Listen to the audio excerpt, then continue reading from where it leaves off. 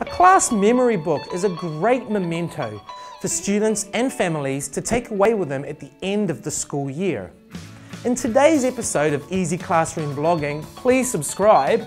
We are going to look at a super easy way to make one using everyone's favorite book creating app, Book Creator, and then share it to the blog, such as in this wonderful example from Amy who teaches grade 2 here at the Western Academy of Beijing.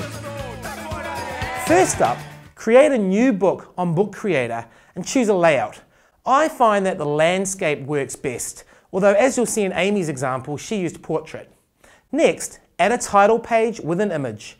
A class photo makes for a great title page, but make sure the orientation of your class photo matches your book.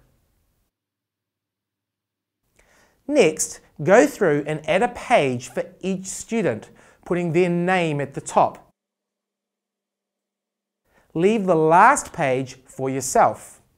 For younger students, you might like to add a template for them to follow, or you could discuss as a class what each person will put on their page.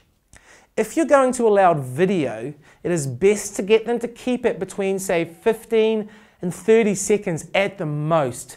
Otherwise, the size of the book is going to end up so large, it might make sharing it difficult.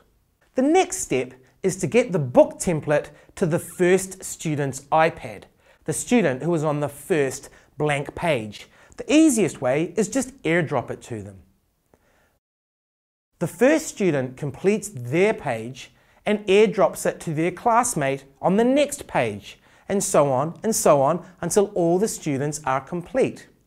The final student then airdrops the completed book back to you, and you can finish off your page. To share the book with your students' families, you can upload it directly as an ebook if you're using easyblog.org. Or if your classroom blogging platform doesn't allow books to be uploaded, then you could export it as a video and embed it on your blog. So there you go, thanks for the look. Use your blog to share a memory book. If you found that little gem helpful, subscribe to our YouTube channel for lots more great tips on getting the most out of your classroom blogs. Find us on Twitter and Facebook and don't forget to visit easyblog.org now for your free classroom blog.